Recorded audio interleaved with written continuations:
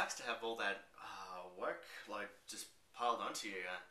I know how you feel. Um, I mean, that's happened to me a countless number of times at university. There have been times where I, I even amazed myself where I've been able to pull through. But uh, if, if anything, if there is anything I can help you with, just don't be afraid to ask. But yeah, I don't really know what else I can do for that. But yeah, the other day, um, down to Brisbane to take part in something called a Twitter movie. Um, it was a it was a thing that was started in London apparently, and he wanted a and the guy who started it all wanted a bunch of people from all over the world to do this specialized Twitter thing. I wasn't exactly sure of the details. And I thought, yeah, I could I could do that. I've got film experience. It would probably look good. So um, I go down there, and turns out the only person who has any sort of film experience at the whole thing. There was about it was, a, it was about six of us or seven of us there, and the only person who had any experience was me. There was other, one other person who had um, who did photography, and I was able to set him as like my DOP. I, ended up being director and I ended up calling the shots with most of the things because I was the only one who had experience. But um, that's not the only um, thing problem we had. There was no script, um, no plan, um, and we just had a basic outline of what we needed to do, which was um, pretty much get a couple of people twittering as if they were shocked to see something, and that wasn't really that much to go on. Yeah. So yeah, the footage actually came out pr- pretty well. I haven't seen the um the footage itself. We shot it at the best possible resolution I could get.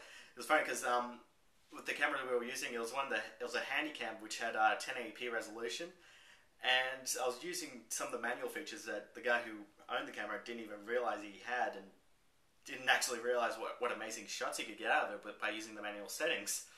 So yeah, he was actually kind of pretty shocked with it, but I, it actually went pretty well. It flowed rather smoothly, which is um, probably more than I can say for some of my other projects, my other film projects I've been through. Uh, most of the times they usually go on for, I don't know, three times as long as they usually go to. But this one actually turned out pretty well. I'm not sure if I should be worried about that or okay with that. But that's it's not actually we're not actually the major ones filming it. They just want to film extra stuff.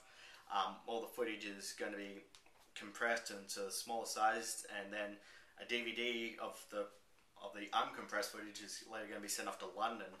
And if the Twitter movie ends up getting finished, um, I don't know what's going to happen to it.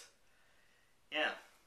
So that's my random, rambling. I've also been working on this um, the, this video for a for a cl- for a client of doing this uh, dance um, DVD. Uh, it's coming along pretty well so far. I've actually just been shooting just minor stuff on my little Flip cam here. Uh, I'm going to get a much more bigger camera for, for the actual performance, but she just wanted me to get some behind the scenes stuff, which I'm doing right now.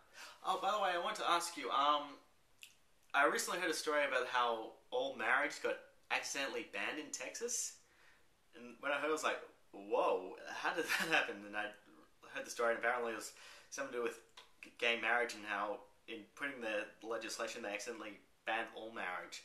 I want to know what's what's been what's has it been like down in Texas? Like, have people actually been talking about it much? Um, what's been the overall vibe from it? Have people even been talking about it at all? Um, I thought it'd be pretty interesting because I know you live there. That, was actually one of those things that I thought about when I heard the story. It's like, oh, what's what's? I wonder how else treating that and how everyone else around this. Yeah, I'll see you later, Al.